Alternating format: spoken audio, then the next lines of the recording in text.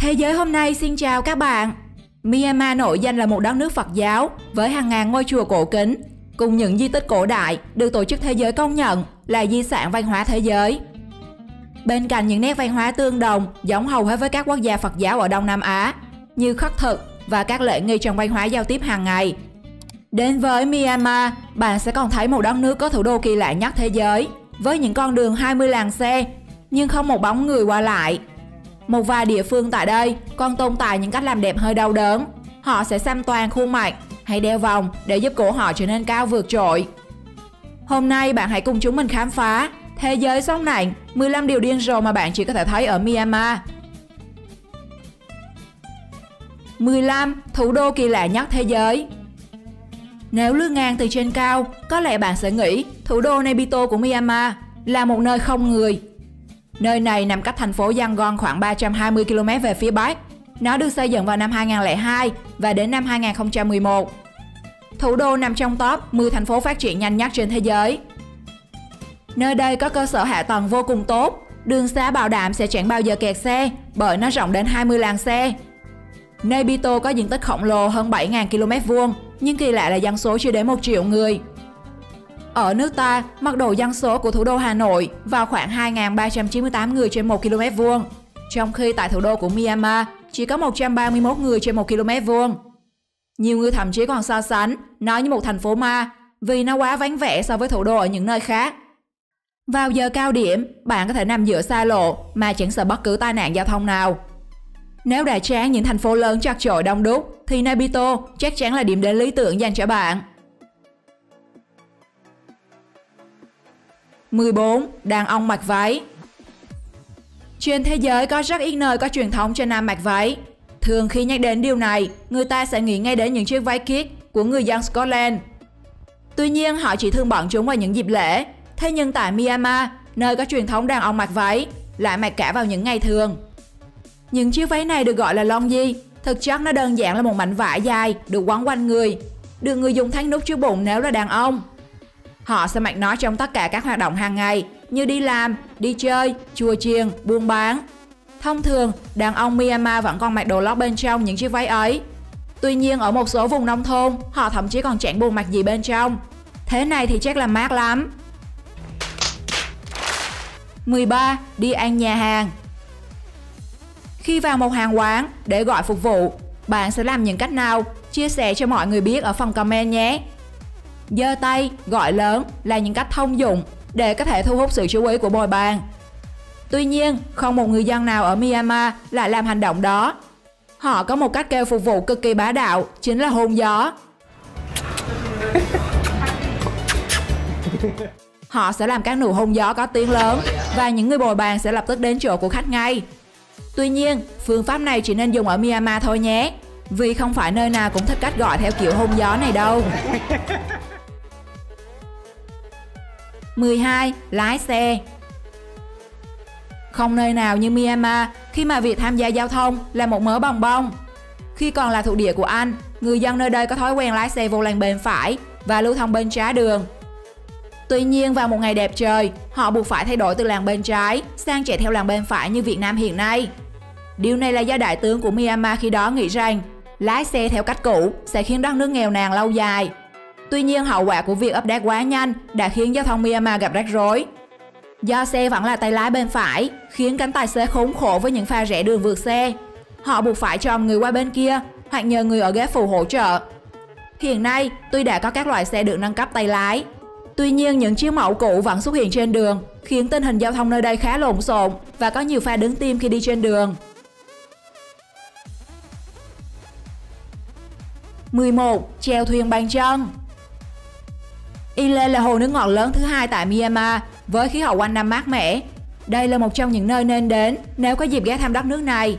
Một chân trụ, một chân khéo léo treo thuyền là tư thế đánh cá rất quen thuộc của những người dân nơi đây.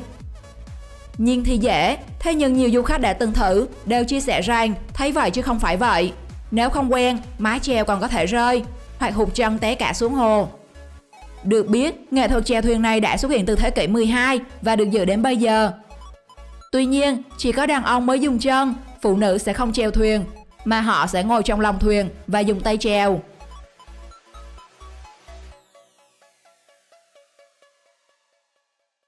Mười Golden Rock Nếu thường xuyên đi từ thành phố Hồ Chí Minh lên Đà Lạt, hẳn bạn sẽ chú ý đến tảng núi ba trồng nổi tiếng ở đình quán Đồng Nai.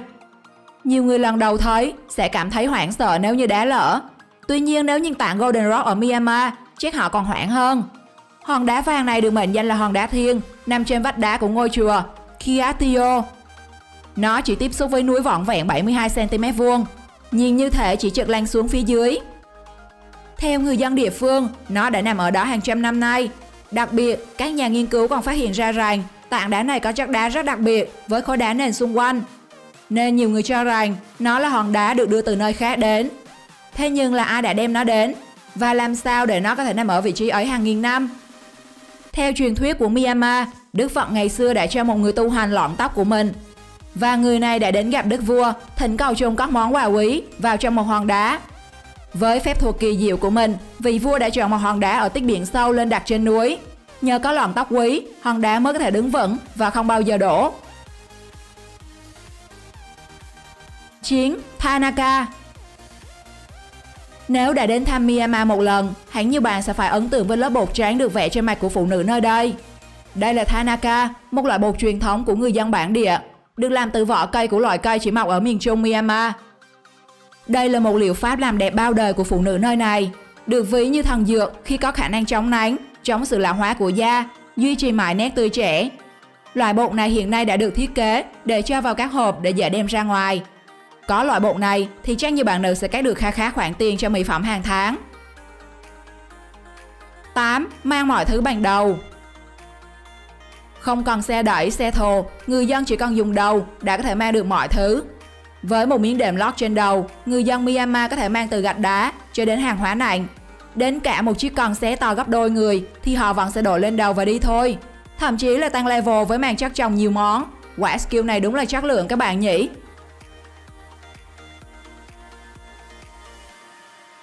Bảy, đặt tên cho con cái Chỉ một cái tên, bạn rất dễ gọi nhầm một ai đó ở Myanmar. Bởi lẽ người dân ở đây, họ không đặt theo họ của gia đình, thậm chí là nhiều người còn không có họ. Khi một đứa trẻ sinh ra, chúng sẽ được đặt tên theo ngày sinh trong tuần, bởi mỗi ngày sẽ tượng trưng cho một linh vật khác nhau, như phượng, hổ, nghê, voi, thỏ, chuột, rắn. Để phân biệt, họ thường thêm nhiều cách xưng hô vào cách gọi tên của mình, như cơ quan, địa vị, tuổi tác, thân phận.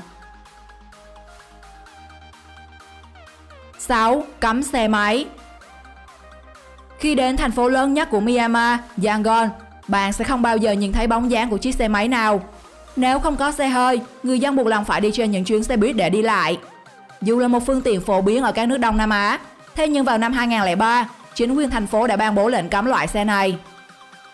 Trước đó, thành phố từng gặp nhiều phiền toái khi số lượng tai nạn giao thông ngày càng tăng, cũng như tình trạng tồi tệ của những phương cướp giật bằng xe máy.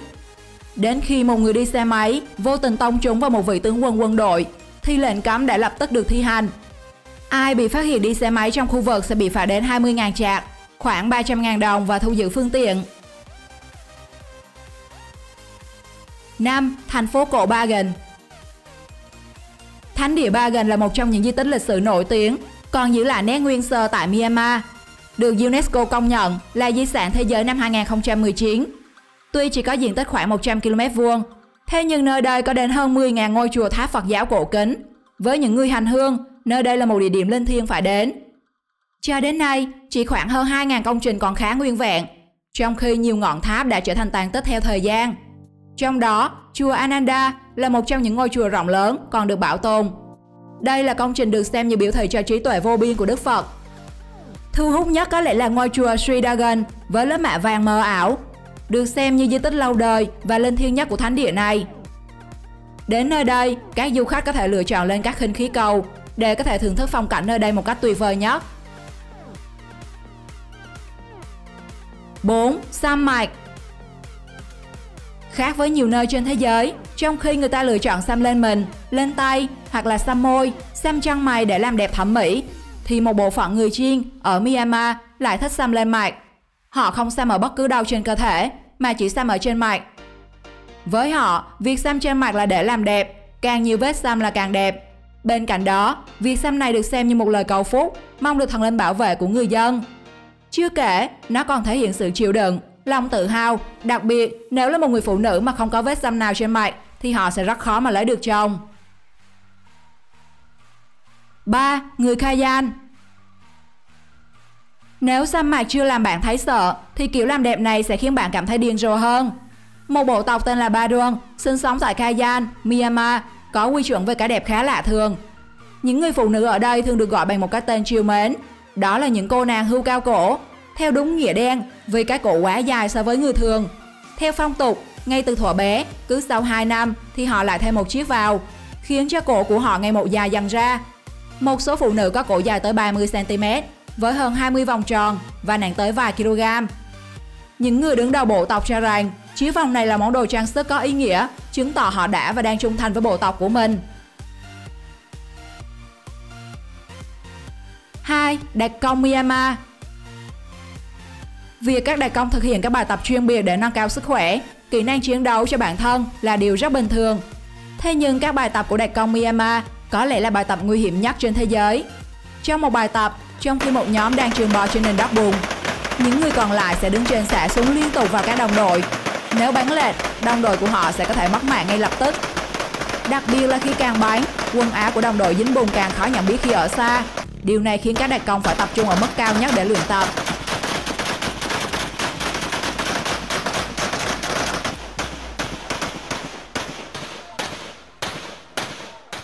Một Đất nước bị quân đội thống trị Từ đầu video đến giờ, ta có thể thấy nhiều sự thay đổi của Myanmar đều có sự nhúng tay của quân đội. Phải nói là từ trước đến nay, Myanmar là một trong số các nước quân đội có quyền lực cực kỳ. Họ đã trực tiếp cầm quyền ở Myanmar sau cuộc đảo chính vào năm 1962 trong suốt 50 năm sau. Họ tự cho rằng họ là những người duy nhất có thể bảo vệ cho sự thống nhất đất nước vào năm 2021, vì cho rằng cuộc tổng tuyển cử trước đó đã có những sai phạm gian lận, quân đội nước này đã thực hiện một cuộc đảo chính, chiếm quyền kiểm soát tòa thị chính. Quyền lực được trao cho tổng tư lệnh các lực lượng vũ trang, tướng Minh Aung Len. Bạn thấy điều gì ở Myanmar gây sốc với bạn nhất? Chia sẻ xuống phần bình luận bên dưới nhé. Đừng quên like và subscribe kênh để khám phá về nhiều điều kỳ lạ ở các vùng đất khác. Chào tạm biệt và hẹn gặp lại!